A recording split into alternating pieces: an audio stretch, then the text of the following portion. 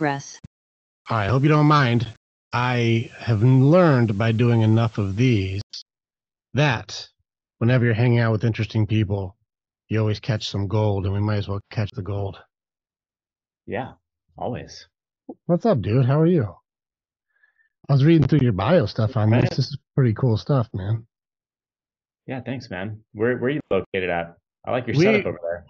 Thank you. I just put the the Bat Cave together, man. This thing is pretty cool. So I put this whole recording studio together. Actually, um, yeah, I got like everything in here is soundproof. The ceiling, everything. Went pretty hard. Went pretty hardcore on it. I need to do something like that. I I normally I work in my office, um, but my wife and I are planning to move next year, so like I don't want to renew my office space. So it goes. My lease goes till August 31st. I used to have like 20 of my employees. We were all there, but everybody's remote now. We've just been remote since the pandemic, so I've just been main.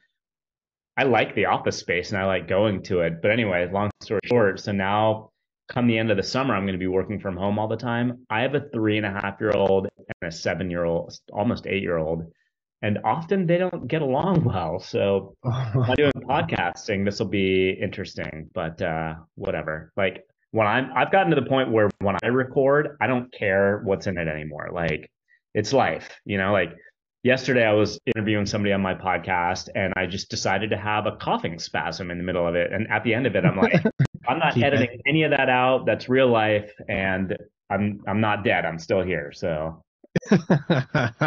That's funny. My dogs go nuts all the time. So like I'm right there with you. I'm like, yeah, Yeah. well, that's happening. Exactly. Yeah, Yeah. that's aw- that's awesome, dude. Yeah, I saw you had a couple podcast things going on. Like uh you go through the mental health aspect of it, but I was reading too. Let me pull this on the screen where I'm not looking sideways. I really like that thing, the change. Like I'm like, I gotta check this out because that sounds really cool. And uh you now you're on beyond the microphone, right? Right. So the change is kind of how I got into podcasting, and I did a season with that. Um, you know, so like my main gig I've been doing for the last almost seven years is the CEO of this IT consulting agency with about 25 employees. And I, you know, I could give you the whole spiel now. Just tell me to stop because, like, you know, I could. It's a whole story, and there's You're a lot super you're super successful. You're a really big deal. People know you. Yeah. Yeah, we get the we get the story. You're the man. no, no. I mean, I, really. Um, so I'll give you the high high levels. Like in Okay. 2019, like kind of like right around the time when my three and a half year old was born, and he's my fourth kid. Okay, so like, and, I just turned 50, so I've been, I don't know, man. I've been pumping out kids for a while, it seems, but. Keep doing what you're I- good at, man. I was so running my company just and this is before the pandemic. Um, I started getting anxiety attacks. I had never, I had only had one in my entire life, and there was a reason for that one, but I really never had one. And um, I started getting them. Like he was maybe like two months old. He had a medical condition come up that was pretty stressful for me and my wife. I was working about 80 hours a week. I'm sleeping about three hours a night because I I was working with this Indian team on this project, and so I had to be up like Mhm. during the middle of their day. So I'd work all day, and then I'd finish, and I'd do the whole family thing, get the kids to bed, and then be back online. And because I was already up, I told my wife, like, look, I'm already up. When he gets up, if I'm still awake, I'll put him back down. You can stay asleep. So I was sleeping about three hours a night. All that started culminating in me just getting these progressively worse and worse anxiety attacks. Um, and it was like my mental health was the, the like rock bottom. I had never felt as bad and couldn't see I couldn't see how I was going to get out of it. I Mhm. was really struggling and it was a really dark time.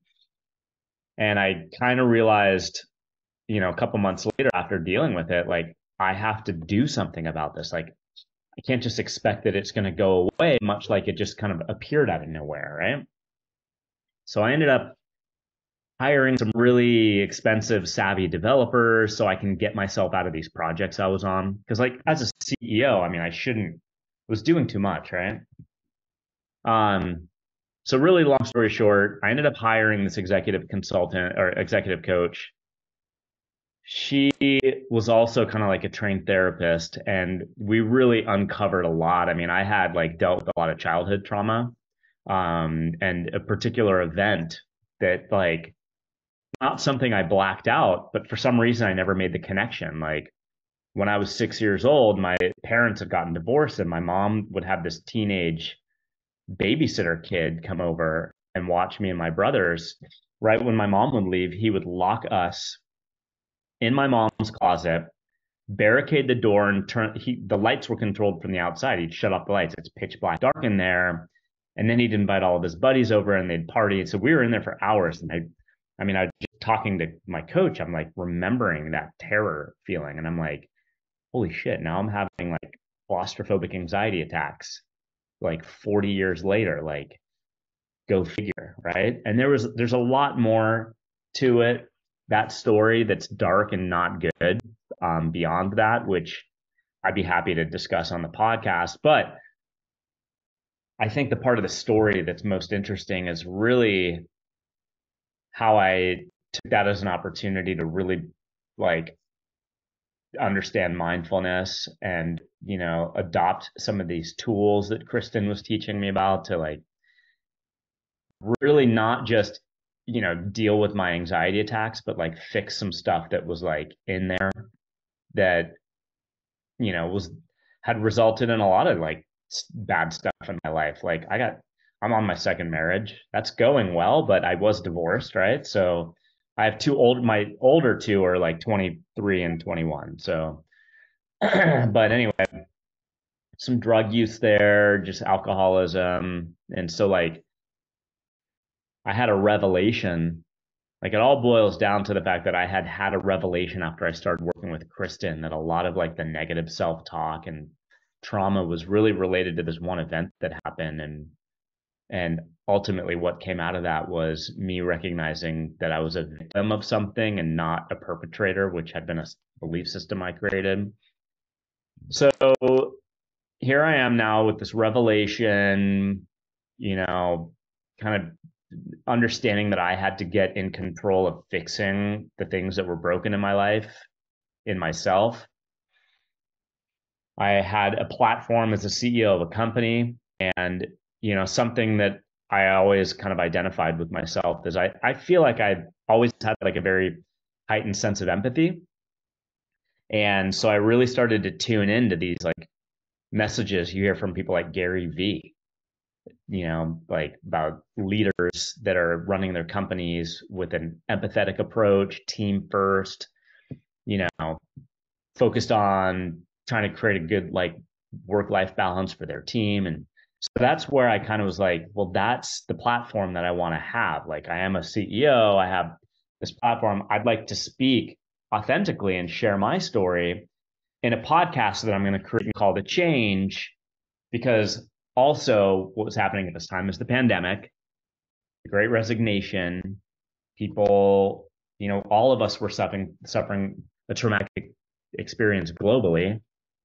And and so that's where the change kind of came from, you know, focusing on servant leadership, conversations around leading with empathy, emotional intelligence, work-life balance and burnout, career change, um, this kind of old school business management methodology that I came up in in my career versus like, you know, some changes that the millennial and Gen Zers were driving.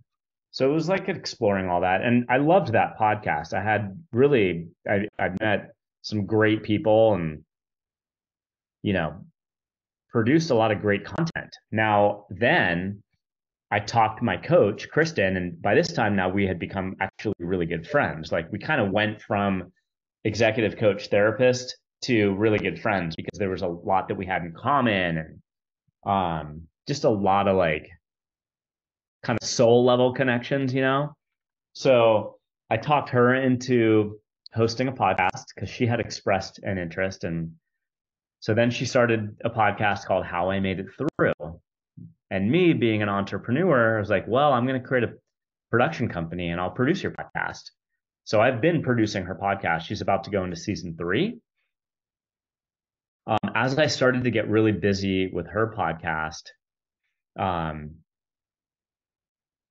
so you know, the majority of what I've done in my career is in the IT space is in software development, like myself being a software developer. So we got busy enough and we had a big enough team. We had like marketing people and sound engineer and different hosts and my assistant.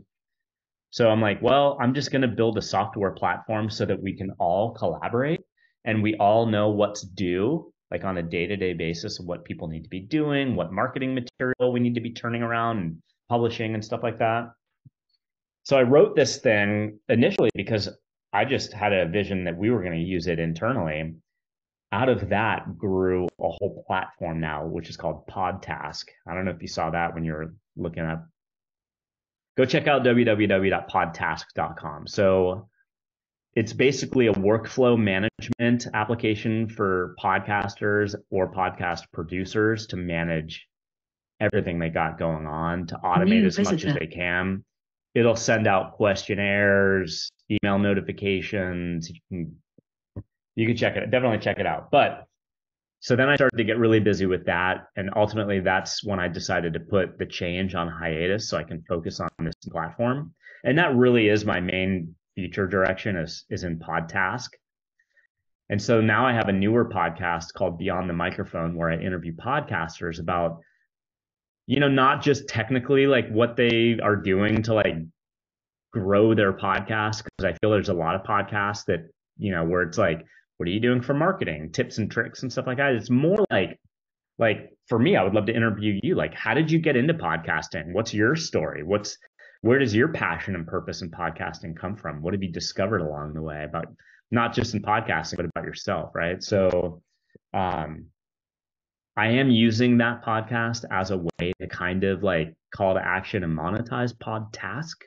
And so, but it, but it's fun. I really, I think more than anything, I'm having more fun with Beyond the Microphone than I did with the change because I'm like connecting with people like you, like where I do the same thing as you, and we have that connection where we get each other, you know? So anyway, that's, that's me, man. Tell me about you. That's pretty awesome, man. Thank you for sharing. I appreciate that. There's a lot in there too. I can see uh you had to go through that stress, fear, pressure, identity cocktail there for your anxiety. That's pretty exciting. So yeah, there's I, even more big picture stuff, but I, I I'm, I'm assuming this 15 for... year old was was a monster in your life. I'm assuming this kid was a core piece with him and his asshole friends doing some pretty shitty things to you guys. Oh, which kid? the 15 year old i'm sure oh, oh the, yeah yeah okay yeah the the, t- the babysitter you're talking about yeah, yeah i'm sure I I mean, sure I'll, that kid yeah i mean i'll tell you straight out like so like they would lock us in a closet and they would you know and then he'd invite his friends over and eventually like we'd get out we'd get let out of the closet. Mm-hmm. and um they thought it would be funny to molest me and my brothers mm-hmm. you know? Like my older brother had it you know what they did to him was worse and he still really has a hard time talking about it but uh but still like i hid it forever. I never talked to anybody not my parents not my brothers. I never told my ex-wife about it i never mm-hmm. even told my current wife about it and so ultimately like the revelation i had was that i had built a belief system of shame thinking that i had caused to happen what happened I was six years old I, it wasn't even no six year old has that in their consciousness yeah. unless it's imposed on them, right? Because I never. So anyway, um, yeah, like the, the way you had to suppress that was really tricky. Yeah. Yeah, and I didn't block it out. I honestly, weirdly, I never thought it had relevance in my life mm-hmm. until what really happened was in my second session with Kristen, we were having a conversation about guilt and shame. And I brought it up because I was talking about my divorce with my ex wife and how I had felt guilt because my kids who are now older, like, I could tell that it impacted them, you know, especially my my son who's now 21. Like, mm-hmm. And sh- and Kristen is like, well, you know, do you feel what is it you feel like guilt or do you feel shame, Adam? And I'm like, I like, what's the difference? I didn't really know. And so she explained it to me, and I'm like, okay. What, was her definition? If I so I'm paraphrasing, but it was something along the lines of like, shame is something that identity and belief systems are built out of versus guilt. It's like a shit feeling, but it's like it doesn't like define who you are. Like those mem- those guilty feelings don't define who you are like shame can do. Yeah. And so just that was my second session with her. And so we just you know wrapped up our session. It was a Friday. Went about the rest of my day. Went home, did the whole thing with the family, put the kids, my wife went to sleep and I I finished at around midnight, like finished watching a television show, and I I turned it off, and it was like so it's like really quiet in my house, and I kind of thought back to that conversation earlier in the day with Kristen, and I'm like, like, huh, like shame and guilt, like, is there something I I feel shameful for in my life? And it was like, once I voiced that thought, it was like the parting of the sea. It was like my higher self is like, he's ready now to process what happened ba, ba, ba, ba, and I was right. like, I was like, oh my, oh my god, mm-hmm. everything in my life lined up in that moment. Like everything could be explained, and I was like, oh shit, like there it is, there it is. And so it's been a really interesting journey since then. Like, I mean, it wasn't like overnight I was all of a sudden healed. It still took time and it's still a work in progress to undo what was there for so many years um, but i think now especially because i just turned 50 a couple months ago i'm like my like love for myself has never been higher which is translating to better relationships with my wife and my kids and you know they still drive me, the little ones, you know, bonkers, but they're awesome. Um, but, uh, you know, a big other thing that's happening is about four years ago, this guy that I fired at my company, he was only with me for four months. He filed a lawsuit about three years ago for wrongful termination.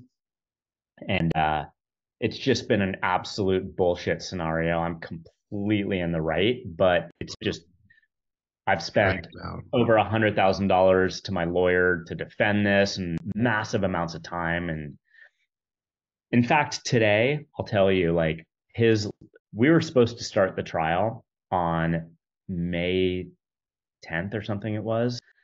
And a week before the trial was supposed to start, his law firm fired him.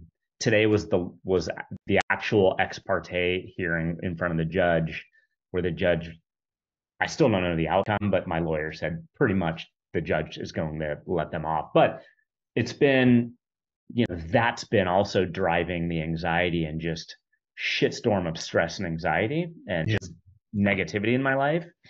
And about three months ago, I was like, you know what?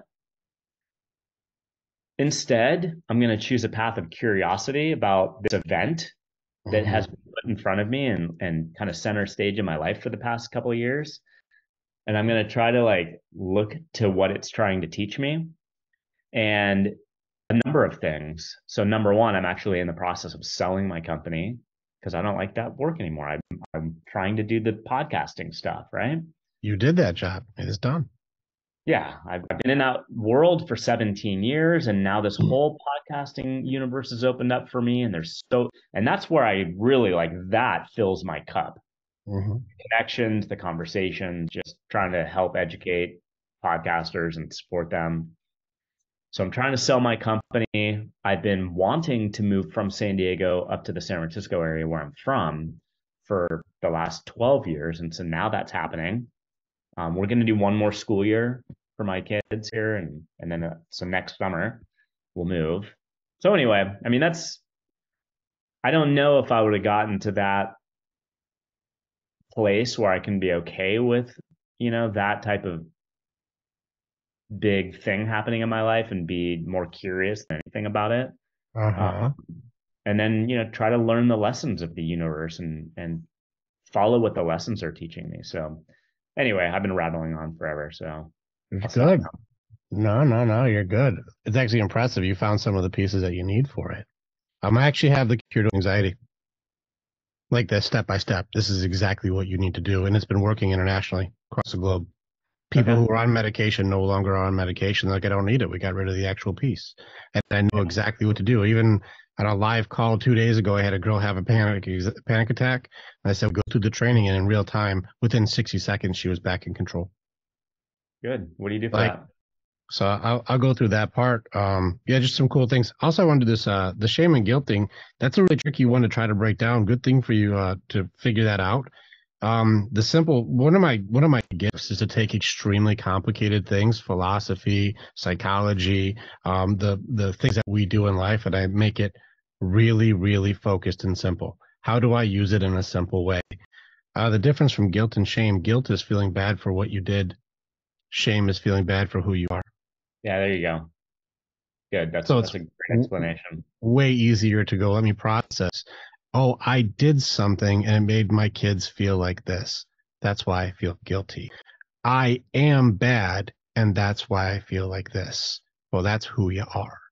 And it's easier to break down like which piece is happening right now because every loss is a lesson. So I did something that taught me something shitty. Don't do that again. So then I don't have to hold on to guilt guilt, shame, judgment, these things just blame, they just get in the way of healing. Yeah. And so one of the second rules in the, the warrior's way is no blame, shame, judgment, and guilt. That happened. That's it. It happened. I don't have to call you names or judge you or put you down or tell you you're a bad person or you're going to hell. No, it's in the way. It's just in the way of healing. It doesn't matter. I can't change time. I can't go back. It doesn't work like that. But yeah. I can learn a lesson and then let go of the stuff I don't need. And, and that way, by, by, learning the lesson too, I I've felt empowered. Like correct. it's empowered me. You know. Absolutely right. And so that's just one piece. That's just the guilt and shame. Uh, it's tricky too because almost everything wires back to belief systems. I'll show you my map at some. And this is where I show like the breakdown for how we operate to break through your grieving cycles, especially the I've gone through so much stuff with rape, molestation for people who have been uh, abused, abandoned, you na- addiction you, across the board. We've killed all of them. In fact, there's yeah. actually only one curse I haven't beaten yet. And like, I'll tell you that in a little bit. But uh, it's kind of it's kind of crazy when you're going through your loss system. If you're still working through the pieces, um, something was taken with this kid, him and his friends. Something was taken, and, you're trying to go through the pieces of what was gone. It could be uh, power was taken. It could be innocence, could be dignity. There's something there that like something from me was taken. And a lot of the neuro linguistic stuff that we would do, uh, which is high level stuff we would go into, is like going into the memories and really taking your fucking power back. But you don't go in as a six year old. You go in as me and you now. And I bet you that kid would have a very different point of view if we were standing there. Sure you know and so then it makes new memories now you take power back you take your things back you protect your brother like you create a new memory that makes it so you no longer have to carry shame. You know, you don't have to anymore. You don't have to feel bad for who you are because somebody else is bad for who they are. Right. You know, and that's obviously a high level training like we go in. And that's that's a big deal. Those are hard ones. Um, but otherwise, like I'll break down um, anxiety for you because I think you have the pieces, but there's a couple pieces that'll help you um, catch it beforehand and this will give you a lot more power. So I'll give, give you a couple. Actually, I'm on Anxious and Ambitious, their podcast next week again. So I'm doing theirs again. I'm gonna share my screen with you because we can go through a little journey together. This is just, this is just, hey, this is just stuff. I got uh, 700 of these. You want fear? You want doubt? You want depression? You, I'll show you how to beat them all. They're all beatable. I'll show you the simplest way to take 50 different books and make it a sentence. I'll show you. Yeah. This is probably why people like what I do. All right. Let's go in. Anxiety is simply just uh, fear multiplied. You know, the Lao Tzu point of view, like people who are um, stuck in the past have depression, people who are in the future have anxiety, people who have presence in the present have peace. That's just ancient Chinese proverbs. Anxiety is fear multiplied. This means fear itself. Fear is not real it's possible futures that may or may not ever happen and most of the times never happen ever And so whenever you're in your this could go wrong and this could go wrong and what if this happens and this guy could say this and what if they do this and what if I lose that and what if they do this for me and then I'll lose my whole company and then I won't be able to take my kids and what if this happens and what if I get sick and what if they do like right. we're going into all of the things that could go wrong. Now throw in your cocktail of hours of sleep. I've got to be a good dad, take care of a baby, working 80 hours a week, and then uh, my kid has a medical condition. Uh, good luck keeping your sanity because all of the things that could go wrong now go from like possible to inevitable. And you can't discern the difference because it's like how could it not go wrong? And so you're stuck in this like oh i'm about to explode most of the time.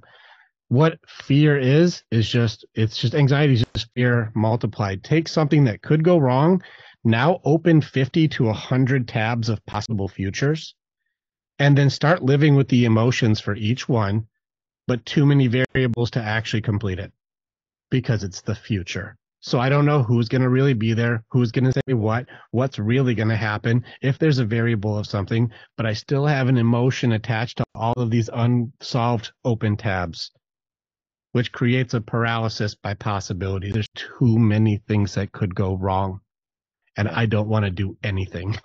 because I can't, I don't know what thing to deal with. And so yeah. a lot of the the actual thing comes down to a test that I do for people to see if do you have uh, a clinical medical issue or is this something that has like uh, Dr. Dispenza says you thought yourself sick. You know, mm-hmm. let's see which one it is. And so I would take people and I would challenge them to go, think of a time before when you were like anxious, like something was going to happen. Like it could be giving a public speech in front of everybody, or, you know, I have to, you know, learn to drive a car or get a brand new skill and I don't know what I'm doing yet, or a new job, or ask a girl out, or something like, oh, God, oh, my heart's pounding on this one. I don't know what to do. What am I going to do here? Oh, you know, and you're like, oh man, I was so anxious at that time. Think back at that time, whether it's the speech, ask a girl out, learn a new skill, new job. I don't care what it is do you still have anxiety about it now? Hmm. Like if you yeah. think back, do you think do you have anxiety right now? If I think about like, well, that event. Oh, you want me to actually think of one right now? Yeah, I would. Do you I mean think of anything where like, man, I had anxiety for that event. Like I had to do something that's like that's pretty intimidating. That's a big deal. Or my first time I've ever done one.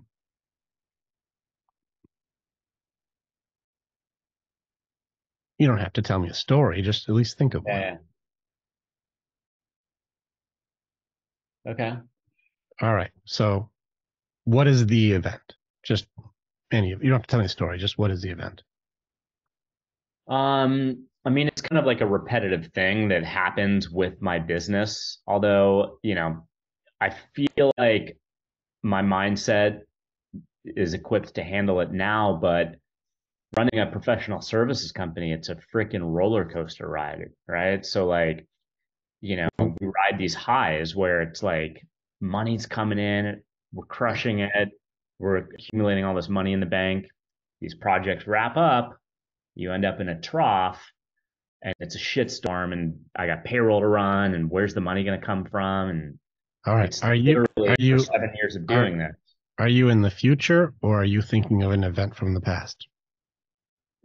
Well, no, this is this has happened in the past numerous times, and the anxiety is is always thinking of the future, like how are we going to get past this so this doesn't happen anymore? Let's go back five years ago to one of those ups and downs.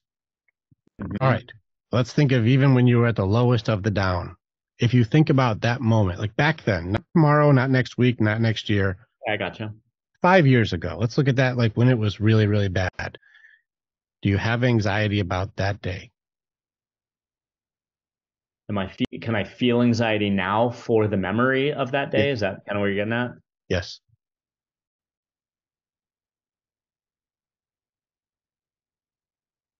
The memory of the feeling is there, but it's not, I don't think it triggers me the same way, but I recognize the feeling. Like that's where I think like I've learned how to use mindfulness to like recognize that feeling and get ahead of it. Right. Right.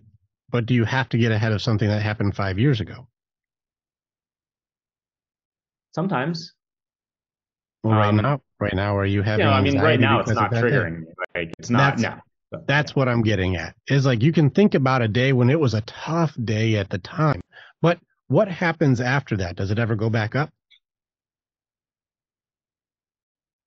Like you said, some days it's highs, then it goes low, and then you know the business picks back up, and then we're back on a high, and then it goes low, and then it picks back up. Sure. Yeah. I mean that that definitely was more prevalent. That that being a recurring pattern in the past. Yeah. Yeah, so now you know, but you know after that low, it's going to pick back up. Like you know what Correct. happens. So Yeah. like I know that at that time it was going to go low, but at the time I didn't know it was going to pick back up. So I was worried at that time. But now I know that it picks back up, so I'm not as worried about that time. That's part of it. I mean, because yeah, definitely like just having experience. Like now, you know, I like one of my business partners, like he still freaks out. Like mm-hmm. when you know the team doesn't have much work and we're seeing money kind of drain from the bank and i'm like you know what man it's like we've been through this storm numerous times we've always worked ourselves out of it you know Correct. Well, this is the next part to it. So just by doing that, if you were to have had an anxiety attack thinking about five years ago, you may have a clinical issue. right well you're like well no i know what happens and we worked through that and you know i'm far more experienced now and so i don't have that issue with that Oh, partly I think, you know, in and this is exactly mirroring what you're saying, but so like after I so Kristen could only take me so far because Mhm. she wasn't like she was an executive coach, although she had also been a trained therapist. You know, when I when I came back after my revelation, when I had the following session with her, she's like, you know, I I definitely would advise you to continue working with me, but also, you know, find a trauma therapist. Um, so I did, and she would walk me through these sessions where we really tried to take myself back to that moment of being six years old and being in that closet, terror, terrified, and and get that like feeling back, so that I can, you know, recognize it to be able to then like package it up in a little box and send it down the river, floating away from me, right? was that and helpful for you extremely because we did Okay. that every time I met with her, we did that. And by the time we got to like our fourth session, it it the memory of it because at first like it did it was triggering with me and like for example like when I would meet with her it was in her tiny little windowless office and Mhm. just being in that office was triggering to me with the Yeah. claustrophobia but by the time we got to the fourth or fifth session and we would go through those exercises I wasn't feeling that anymore. And I couldn't, and in fact, I couldn't even bring back as much as I tried to bring back that feeling. I couldn't, I was having a harder and harder time, like having it re-manifest in me. that's awesome that's very that's cool like there's different ways to do that i usually uh, i go the other route with it because um if you go back as a six year old it's tough to take power back that's taken and so whenever i do a lot of that the same type of exercises i go in it's like let's go you and me like right now Yeah. like you're, No, you're she pushing and she kind of took that same angle because, like, Good. I think it was like the second or third time. She's like, "Now I want you to picture yourself, who you are right now in your current form, yeah in there in the closet with that six-year-old version of you, Mhm. and now you're holding his hand and you're you're telling him it's it's going to be okay you know that's that's more like that's where you create the memories of like hey you were okay there because you were there you know Right. and you can actually comfort that kid like it's it's that's pretty effective that's good let's get to the next piece. Let's get to the next part because the let go part is good. Let's get into like now we got to handle the future. We got to handle the next piece. I think we just agreed you don't have a chemical issue where you can't handle it because there's a neurological break. No you just had a lot going on and you didn't have tools. That's not crazy. That's everybody. So let's go into some of the tools. So first, I got to see if you have um, any of the tools to be able to manage the reality of things. So first off, when we get into all of the things that could go wrong, all the things that could go wrong, as soon as you know which one it is, does it still give you massive anxiety when you go, that's the one that's the real future? That one thing, does it usually like freak you out when you go like, oh, it's actually going to be this thing that happens? Or are you like, no, I'm prepared enough now that I know how to handle when I do know what it is? I I mean, I'm not in complete control yet, and I don't, and I would question if we ever can get in complete control of our thoughts and reactions. But um, I would say certainly. Careful on that. Careful on that belief.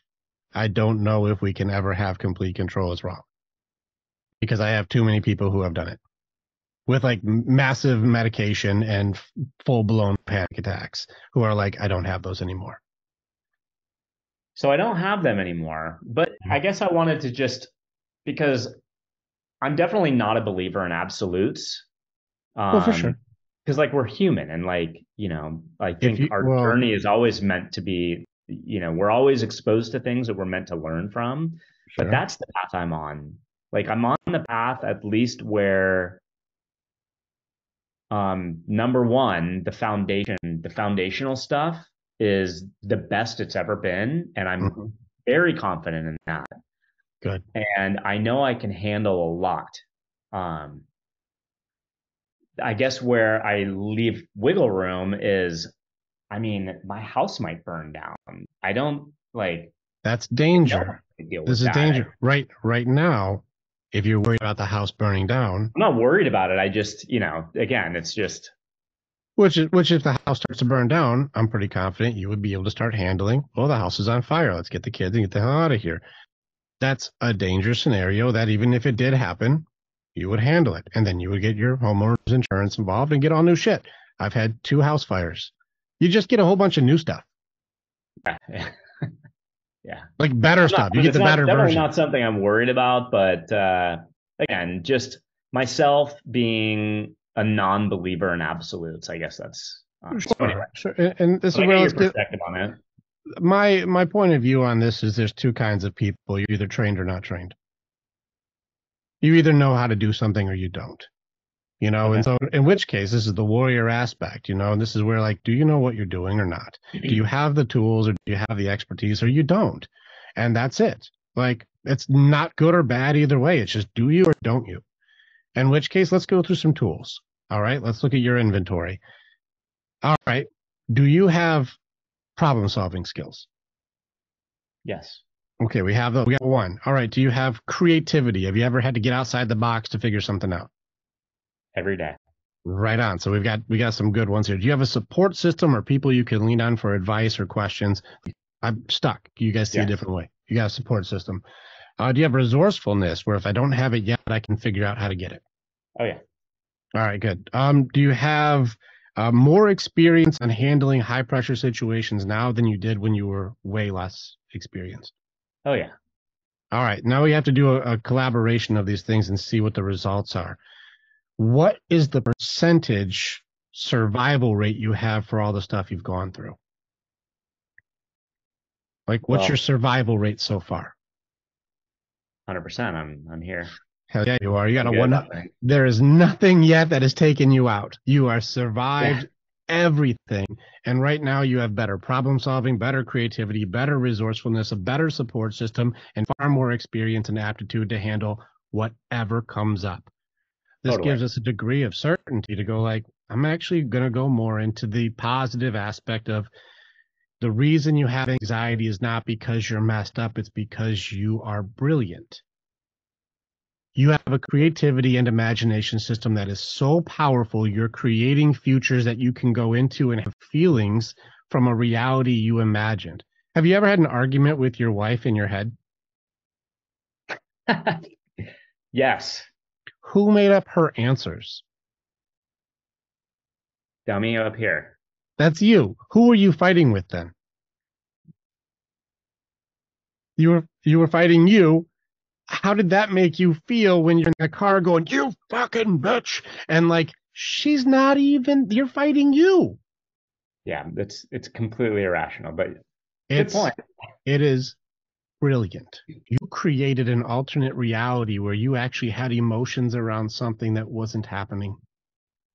That is an amazing superpower. What an amazing ability you have. But left untrained and you don't know how to use it, it controls you and takes over for you. But if you control that power, it goes from uh, anxiety into clairvoyance. And this is where you go from fear to curiosity. And this is why when you said and, I went and that's exactly like that's 100% spot on the lesson I learned in in in my own journey, right? And yep. like I said before, like I to the like right now, I feel more empowered. It is a weird thing to say, but like to some extent, I'm obviously thankful for all the experiences that have happened to me in life because Correct. it made me who I am right now, you know? Absolutely. And this is where I say, let's look at the step by steps to be able to, you know, get under control. That the reason you have anxiety is not because you're broken, it's because you're brilliant. You have an ability, you just aren't trained in this ability because if you look into all of these futures and instead of having like this could go wrong, this could go wrong, this could go wrong, you go, what do I, what do I learn here? What do I learn here? what could I do if this happened? All right, that's as far as I can go. Close it. What do I learn here? That's what I would probably say, but you know, we'll cross that bridge when we get there. All right, what would I do here? That's this will go really fucking crazy. This is possible too, so we'll hold that off. What can I learn here? And you're looking into the future now and living multiple lifetimes, getting experiences and understanding without actually having to go there. Now you're just a future. You're just looking into the future, and you're learning and growing at an exponential rate. This is clairvoyance how do you control the ability? It's practice and understanding. You're not messed up. You have an amazing creativity and imagination. We're one of the only creatures that can give ourselves panic attacks when nothing's there. I can have the same feeling as a lion chasing me when there is no lion. Yeah, no, totally. That's it's amazing. Uh, the whole fight or flight system just well, that's I think it's in our, our, our cell structure and this goes into like the coping mechanisms and things that we have but the survival part where you can just have like you know taxes and still have the same feeling as a lion chasing you. Yeah it's the yeah I, and i completely like look at the anxiety attacks i have now. It's the most irrational thing ever. It's like when i like i would get them often when i would lay down to go to sleep. If mm-hmm. i didn't fall asleep right away all of a sudden I can feel that feeling creep in and then it was there. And it's a feeling of terror as if a lion is right there about to clamp down on my neck. Correct. Because I was really like the fear was that I wasn't going to, like the irrational fear was, oh, if I don't fall asleep in two seconds, I'm going to be awake all night long and I'm going to have to repeat a whole new day tomorrow with mm-hmm. the kids and the work and everything. Yeah, it's completely you, cre- you created an imaginary scenario with parameters that would make it impossible for you to be successful. So you're absolutely a failure. Yeah, it's. I need to be asleep in two seconds, or else I'm. I, this is the end. And you're like, why the two seconds thing? Why did we create that? What is that for? You know, I just made up a rule to make me now not good enough. Exactly. It's like makes, it up. it's the stupidest it's a completely irrational. Like it, you know, not to discount obviously people that go through that. It's the worst feeling in the world. But when you come to the other side, you're like, the hell was that all about? Correct. Well, it's just untrained. That you have an amazing ability that's running wild. You're not. You don't have any practice here. No different than any superhero movie where they realize they have super strength and they're ripping the door handles off and breaking the sink faucet. Like it. Like.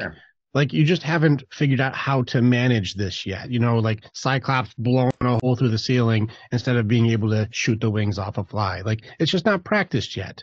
But it's you know it's dangerous if you don't control it. But if you control it, you're looking into the future now, and you are the most prepared out of everybody you know. Like it's just an ability that it's amazing that you have it. You're not messed up, but right today's society, you're called a symptom. You're given medication to deal with issues, not deal with the root.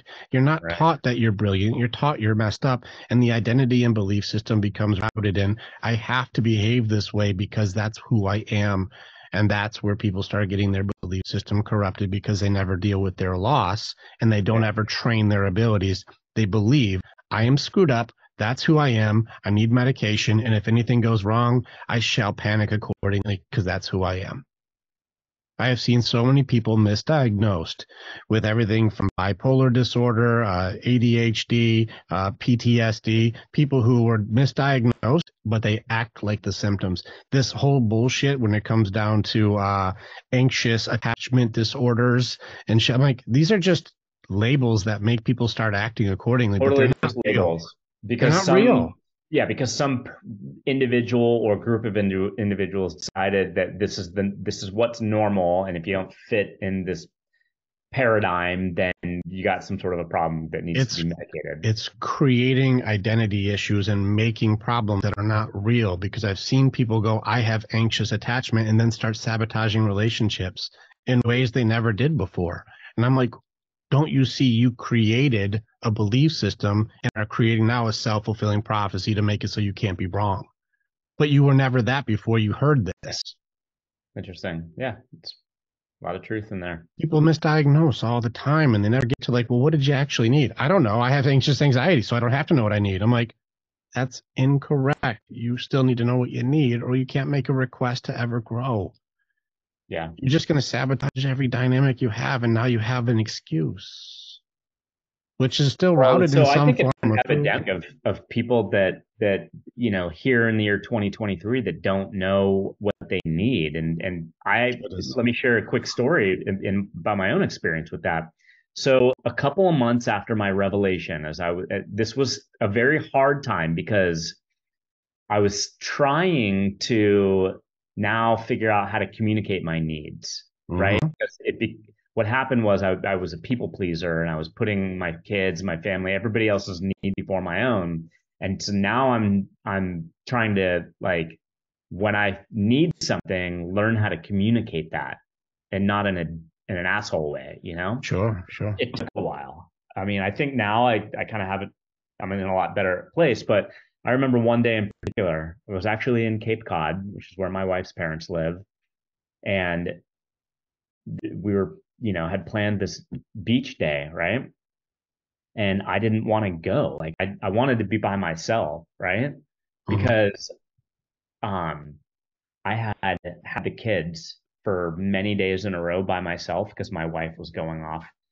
I, you know, because we're out there where she's from, like she's going off to surf and hang out with her friends, and and it got to the point where it was building up and building up, and I was getting resentful about it. And then uh, one afternoon, I just was finally like, I'm not going to the beach with you guys. I'm going by myself to the beach and I'm bringing a journal. Blah, blah, blah. I'm just going to go have my own time. And they were fine with that. But it just like I built it up where I, you know, it kind of just like came out in kind of like an explosive way. right. So where I was going with this is I finally get to the beach. I'm by myself. I'm listening to, if you know who Jessa Reed is, she's got a podcast called Awakening OD, which is awesome. Mm-hmm. And she was talking about she was kind of putting a challenge out to her listeners like why don't you guys try to get a journal out and write down five things that fill your cup mm-hmm. and so i'm listening to her podcast and so i'm like all right i'm going to go take the journal to the beach by myself and i'm going to do this i get out to the beach with my journal and it's a gorgeous day and i was still a little bit kind of messed up from just you know, the blowout earlier. And so I'm trying to sit there thinking of five things that filled my cup. I couldn't think of a of a single one. It's really and I think a lot of us go through life where we don't know, like we don't know what makes us happy anymore, right? It's and, no training. You know, eventually, the five came to me, but I thought it was really interesting that the challenge itself was really difficult when it seemingly shouldn't have been. It makes perfect sense that it is. There's a few things. Um, I'll give you an example. Maybe one day we'll do this together. Whenever I have people do the what are your values, like what are your main values, even experts, like what are your values, whenever I challenge their values to see if they're authentic, almost it's very, very rare. I think I've only had maybe two times that someone actually got it right. Because they want their values to be something routed in what they want and maybe even like in some sort of pain that they don't want again. I want authenticity because people are always fake. It's like that's a protection system that's not a value you know but the values would fall under like well i want to have fun I'm like, well, to do what? What's fun? You know, what makes it fun? And you start realizing that fun is actually in connection with other people, and that's what makes the event fun. You know, and you start getting into like, well, I'm I just like it when I can make sure that I can help these people do this. And so I think it's in, you know, respect. And I'm like, well, if you're helping people, that's in service. It's not in respect. And that tell me what the hell respect even is. I want to do it. You know, and so if you want to ever have some fun with words, I've got a handful of words that I've had like world experts go, I need like a week on this one. Like so, like so, I've got, I got some really fun ones for you on that one. But even values is really tricky. Needs even more complicated. Now, personal needs get easier, and so this is where I, we're actually building a new tool right now because I found the tools for finding your needs incomplete. Maslow's pyramid, uh, Marshall Rosenberg's needs, Tony Robbins. Um, you've got all these different versions of enneagrams and uh, love languages. We've got all these things where it's like it's it's pieces, but there's no tool that's encompasses how do I find my needs and then make requests for agreements with my partner or with others to fulfill needs because one of the things that make people angry would be unmet needs and that sure. causes most arguments is i don't know how to express what i need. Maybe to be heard or maybe for us to connect or maybe for you just to just to listen so that that way we can grow. Like there's a growth thing that we need. Like people don't know how to say these words. They just go shut the fuck up you know and they don't know how to express what i need. It's really difficult to do. It is really tricky to do. And so people aren't taught that. There's no class for this you know, there's nobody teaching like, hey, when did you identify your unmet needs? You know, like I don't even know the list of these to do. And if I look at all the convoluted ways, Maslow's pyramid is wrong. I would I would do a debate with this. I'm like, it's incorrect because people can do other parts without having to have one complete. It's not correct. And so there's things like this where we have to challenge everything. Um, I got let's see, I have a book with quotes somewhere here. I'll have to find it. But I have uh there's there's a the idea where like we need to be challenging these different ideas to find the answers, but then discoveries are made when we challenge the answers. And so like we find the answers, but then challenge the answer, and we need to keep digging in harder and harder on it. I think it's a really great story of self-discovery, but it makes perfect sense that you were having a hard time. One of the hardest sections that we have, especially for men, is what do you want? Yeah. The reason it's so hard is think about what we were told our whole life. When were you ever not told what to do? Parents, teachers, coaches, bosses, spouses, like the list goes on. You need to do this. You have to do this. Do it this way. You're doing it wrong. This is the way it's done. When are you not told what to do? So, like, of course, it I, goes on when you're married. It still does. Now, now taking the other side, most of what you do is serve and provide for others. So, what do you need? What? How can I help you? What do you need? Do you need a sandwich? Do you need a pay raise? Do you need this? What do you need? How can we work? Can we build this better? What do we got to do? You're always looking at how do I make it better for the people. And then when you finally get a chance to go, all right, your turn. What do you need? You go. I was always told what to do or helping other people. I don't know what the heck I need. Yeah, and that's why I. I mean, I think obviously that's what led into like when I sat down with that challenge, I'm like, I have no freaking clue. Mm-hmm. Almost, almost every guy has the same silence. Yeah. Every guy has been, I've been serving others and doing what I've been told my whole life. How the hell am I supposed to know what I want? My dreamer got turned off a long time ago to help other people or do what I was told. Yeah. There's still, I will admit, there's still a level of anxiety around the provider role that I have because, like, and it's obviously been amplified by the fact that I, you know, I run three companies right now, and my time, I have, it's impossible to carve out time for myself. Like I know that I have to do it. Yes. I know that that should come first. Is like taking care of myself because then I'll be like the best version of me to be able to take care and provide for everybody else because mm-hmm. my needs are met foundationally. But like you know that i guess where my wife and i continue to like you know just have this ongoing dialogue is because you know she needs me especially now that i'm kind of planning to work from home a little bit more. It's like i have to make it clear to her like that doesn't mean that i'm going to have more time to be able to like now that especially because now the kids are on summer vacation from school i'm like it doesn't mean i'm going to be around more to like take things off your plate and I'll watch the kids for a little bit. I right. have the pressure of still providing and I run three companies and all of the employees at my companies also need stuff from me and they're expecting me to provide for them. Mm-hmm. The one area of anxiety I still deal with is just managing all the stuff in the air that I'm juggling and well you're you're juggling four identities. That's four different guys. Right. You have to Yeah. juggle Well, being a five. husband, Like it's like So five. husband, dad, like business runner owner. of business one, business two, and business three. Well, those And are I've all still one. Australian cattle dog. She's a freaking handful too. That's so funny. Well, even still, there's more than who are you just as a man, just as you. You know, just you. Yeah, you got exactly. Yeah, husband, you one. got That's- father, that's you got business owner and provider.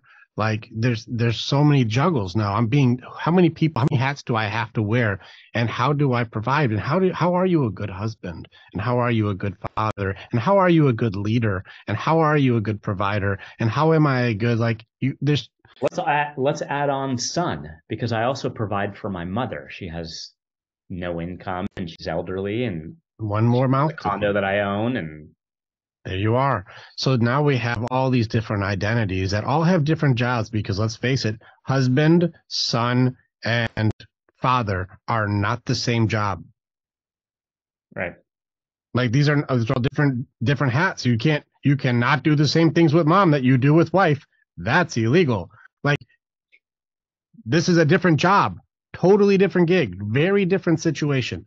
And so um this is where like who are you supposed to be? I'm going to give you a really fun challenge. This is hard one. This is probably this is like an intense one, but I think that you're up to it. Uh, next time that we talk, I'd like to, I definitely like to be on PodTask and be on the stuff with I, any support I can do with you, I'll do. But in in this case, my question is, I, I can't wait to hear your own subjective answer for what is balance. What is balance Mm-hmm. in a subjective way? Okay. Your personal definition for balance, and I'm just going to give you a little bit of a, a, a direction because people go, balance is just the managing of extremes. I'm like, let's get fucking serious. Balance is all these identities. Each one has to have their own time and individuality, but then there's also the head, the heart, the spirit, the body. How do I balance health in all of these categories? Um, how do I balance my growth? How do I balance development with my children? What is balance in all of these categories for who I am, for spirituality, for God, for service to others, for like all these aspects of what is balance? I'm interested to hear what you got because this is a lot more complicated than people think. And I'm just going to save you the trouble of where the hell do I begin? It's wrapped up solidly in your belief section. So I just I gave you a that. bunch of clues. Oh, I mean, I would think, you know, just high level, my response to that would be, you know, we make decisions as to like where we allocate priority to Mhm. things. And and really at the end of the day, it's just decisions. Like it's just us. That's the surface. Listen, everything's a choice is my first book. I'm already with you on everything is just choices. Yeah, but what system do you use to make your priority system for balance? What is it? How do you choose what priority is more important than the other? Because if we say it on the surface, it's real easy. What's more important, your job or your son? Yeah, and like the kid, obviously. Who do you spend more time with? Not the kid. See? So this is where like, what are my priorities and how do I manage balance? How do we do it? Talk to me as though I've never heard of it before. Right. Yeah, it's Pretty it's- interesting shit, right? right. It's a it's like weights and countermeasures. Mhm. You know, every, time you take from one, you're taking away from something else. Now you're starting to see that the more I understand it, the bigger it gets. That's why this one word is such a monster. Yeah. Good one. Um, let's uh let's team up. I would love to support you, and I'd love to you know be able to to however I can support PodTask, and then you know support you. I like hanging out with you. I think this was fun. Um, I'll even send you this recording if you like, because I think this is some pretty good stuff here. And if you want to post it, post it. Uh, this is just cool stuff. Let's make some more if you'd like. Yeah, I'm interested if you're interested. Yeah, I mean, I'd be curious to like keep a dialogue going. I mean, I'll be transparent because you know, um, yeah, I mean, I'm working with numerous people right now on mindset and stuff, and I Put me on a panel if you want to see something crazy. Okay. Yeah, I think definitely staying in, in involved in a, in a collaboration around, you know, because these topics are obviously, you know, what are near and dear to my heart to to speak about with others and, you know, in terms of the content that I put out. So, Sure. uh, Well, well, how can I serve, Adam? um, well, you know, I mean, a, a, conversation perhaps on my podcast might be a good way to just, you know, put the dialogue and this content out there, be useful for others. What? Tell me about your podcast. Um, it's the Warriors Way, or is the Battlefield of the Mind. Uh, the only reason I, I, don't mean to rush. I have a, a, a guy who's jumping in like right now, Dave yeah. Welch. So I have a different conver- I have to do another call, but like I would like to have some more time with you. Okay. Well, we can. uh Yeah, we could just go offline and either that or like you know i'm i'm i'm one of those freaks who's recording ready at 24 i could wake up in 15 minutes and be record ready so like i'm just one of those guys who's been doing this for so long that like you could be like, hey, this the head speaker didn't show up. Who can do an hour? I'm like, what topic do you want? Give me the okay. mic. I'm one of those guys. So like, if you want to do something, I'm in. I'm ready whenever. But uh, yeah, okay. just if you want to schedule something, let's do something crazy, man, and give me some hard stuff. I'll challenge you. You challenge me. Let's have some fun with it. Yeah, I like it. All right, man. I'll follow up with you. I'll I'll put some some thought together. I love it. And then yeah, I'll send this to you. This is, this is a cool dialogue. I think we got some some cool chemistry, and I'd love to support you. I don't know where it goes yet, and you know what? I just think it, it's one of those things. Let's let God take the wheel. I'll I'll go. Let's see where he, he wants to take this. I'm in. All right, sounds good, man. Me too. All right. If you want, I'll just message Randy. She'll send you my personal info, and that All way right. you can just just message me, just text me, and we'll make it happen. Okay. You got it. Cool. Have a good weekend. You too, Adam. I'll talk to you later. Bye.